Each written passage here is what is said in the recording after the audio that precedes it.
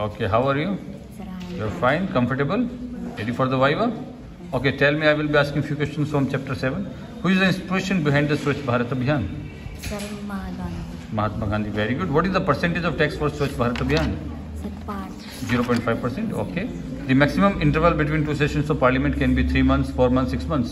Sir, 6 months. Very good. The MPs can express themselves in English only, English, Hindi, and mother tongue. Hindi. Sir, English, Hindi, mother tongue. Very good. The age at which a citizen of India can cast his or vote. Sir, um, uh, 18, 21, or 25. Sir, 18. 18. Very good.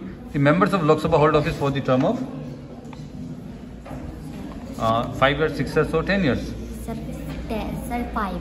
Five. Sir, five, yes. five years. Very good. One more question from chapter one. You also prepared? Okay. The only hill station in India's largest state located in the Arabli range. Sir, Nepal. No, no, Arabli sir, range, Mount Abu. Mount Abu. Very good. Thank you so much.